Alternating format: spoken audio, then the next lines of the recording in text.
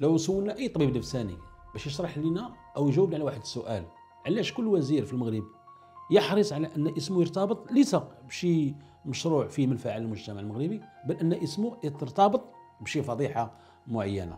أكيد أن الطبيب النفساني لن يتردد في القول بأن الجواب أو السبب ديال هذا الحرص يكمن في واحد الغلو في النرجسية عند بعض الوزراء والرغبة ديالهم في أن سميتهم تبقى خالدة للأسف الشديد ليس خلودا فيما هو نافع للمجتمع ونافع للمغرب بل خلودا في الفضائح. عكس الحال في الدول اللي كتحترم راسها. يعني اذا خدينا الدول الغربية تلقاو بأن الوزراء الإسم ديالهم يرتبطوا بشي حاجة اللي فيها منفعه لهذا المجتمع. بشي قانون واعر بشي مشروع إصلاحي ومؤسساتي أو مهيكل للتراب الوطني في ديك الدولة. الأمثلة متعددة في الدول الغربية ولكن إحنا المقام لا يسمح غادي نكتفيو فقط بفرنسا. علاش؟ لأن النخبة اللي كتحكمنا في المغرب في الحكومة وفي البرلمان وفي الأحزاب النسبة الكبرى ديالها مفتونة بالنموذج الفرنسي. فإحنا غادي نبقاو في النموذج الفرنسي. ناخذ النموذج الأول مثلا كنلقاو loi اوبري يعني نسبة إلى الوزير مارتين أوبري المتعلق ب la loi ديال 35 heures. ناخذوا la loi ديال جوكس اللي كان وزير الداخلية. la loi باسكوا اللي كان هو وزير الداخلية ومات مؤخرا. ناخذوا la loi سيغولين رويال المتعلقة بالانتقال الطاقي. ناخذوا la loi ديال شوفينمون المتعلقة بال intercommunalité ما بين الجماعات الترابية في فرنسا. ناخذوا la loi الخمري المرتبطة بال code travail ديال ديال فرنسا. إلى آخره. والأمثلة متعددة في هذا في هذا الباب. لكن إحنا في الاسف المغرب دائما الوزراء في الحكومات المتعاقبه مؤخرا. ديما كنلقاو السميه ديال الوزير مع شي فضيحة.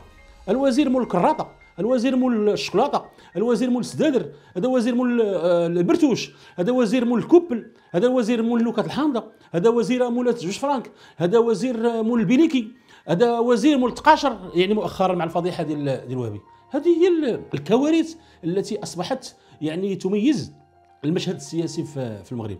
وإن كان من حسنة وإن كان من حسنة الوهبي في هذه الفضيحة الأخيرة ديال ديال التقاشر وهو أنه يعني حقق يعني الاسم ديالو كوزير العدل.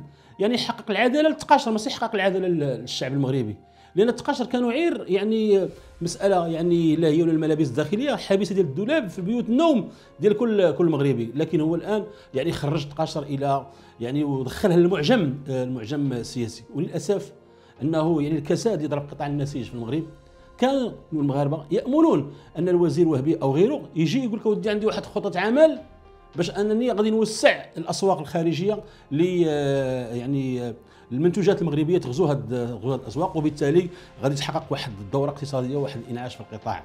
لكن للاسف كما قلنا يعني دخل واحد الحموضيه في في المشهد السياسي. وللاسف هو أنه المغاربة يعني يوجدون في بحال شي ساندويتش بين كماشتين من جهة كاين واحد الثلاثي يتغول في الحكومة يعني يستقوي على المغاربة بواحد القوة عددية في البرلمان وفي الحكومة إلى آخره.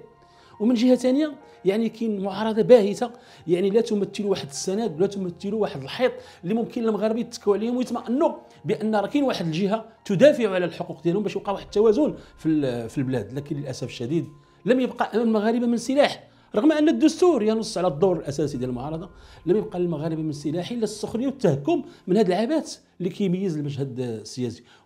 وزمان جدودنا قالوا يعني كثرة الهم كتضحك.